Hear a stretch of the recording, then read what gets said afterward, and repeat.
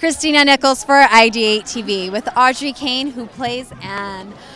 Audrey, tell us about a little bit, really quick, about your character and what your experience was like working on the show.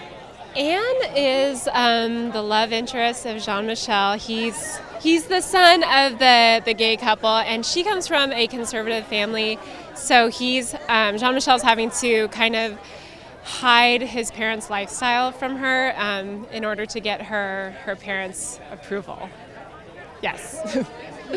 and what was the rehearsal like for this show? And what did you learn, or what are you going to take away from it? Rehearsal. Um, we rehearsed.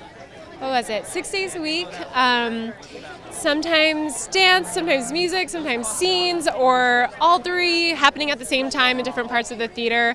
Um, and I was so happy to work with really amazingly talented people and just when I wasn't doing anything, just watching them was such a joy, and I learned so much about performing. And um, yeah, what was one thing that you learned? One thing I learned, um, gosh, she's just the the amount of commitment and energy it takes. Um, just going for things, playing, having fun, um, even if it seems stupid, just doing it and then figuring out later if it worked or not. Um, just yeah, feeling that freedom to have have fun with with the rehearsal process.